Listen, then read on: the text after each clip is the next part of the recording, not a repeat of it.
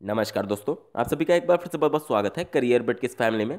जैसा कि एक वीडियो के माध्यम से मैंने आप सभी को सूचित किया था कि यूपी टेट 2019 की परीक्षा में ओएमआर सीट पर की गई गलती की वजह से जिन अभ्यर्थियों का रिज़ल्ट रुका हुआ है, वो सभी दिनांक 10 फरवरी 2020 को पीएनपी पर कार्य उपस्थित होकर के अपना विरोध प्रदर्शन जता रहे थे। उसी के संदर्भ में आप स्क्रीन पर आर्टिकल देख पा रहे हैं और इस आर्टिकल के अनुसार पीएनपी के मुख्य सचिव का ये कहना है कि यहाँ पर आप देख सकते हैं, कार्यालय पर प्रदर्शन के दौरान सचिव, परीक्षा नियामक अनिल भूषण चतुर्वेदी ने अभ्यर्थियों को आश्वस्त किया कि उनकी समस्याओं पर विचार किया जाएगा।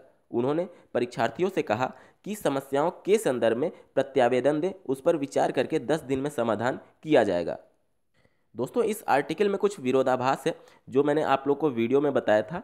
और यहाँ पर आप देख सकते हैं, दूसरी आर्टिकल, बुकलेट सीरीज़ और द्वितीय भाषा के चूक में फंसा रिज़ल्ट। और यहाँ पर पीएनपी के सचिव का क्या कुछ कहना है, यहाँ पर आप देख सकते हैं।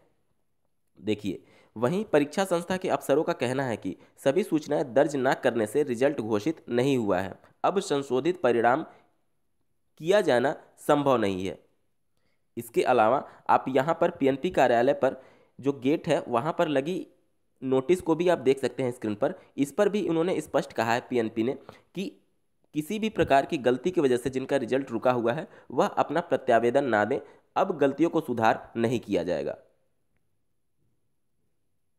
दोस्तों, इस वीडियो का मकसद सिर्फ़ भ्रामक खबरों से आप सभी को बचाना है, क्योंकि सोशल मीडिया साइट्स पर और न्यूज़पेपर में कुछ भ्रामक खबरें आ रही हैं कि ओ सीट पर जो गलती हुआ है, उन पर पीएनपी ने आश्वासन दिया है कि उसको करेक्शन किया जाएगा, जबकि पीएनपी का स्पष्ट कहना है कि ओएमआर सीट पर की गई गलती की वजह से जिनका भी रिज़ल्ट रुका हुआ है, अब उसके संदर्भ में कोई भी प्रत्यावेदन स्वीकार नहीं किया जाएगा। दोस्तों, आज के वीडियो में बस इतना ही। ऐसे ही महत्वपूर्ण अपडेट्स के लिए बने रहें करियर बिट के चैनल के साथ। धन्यवाद।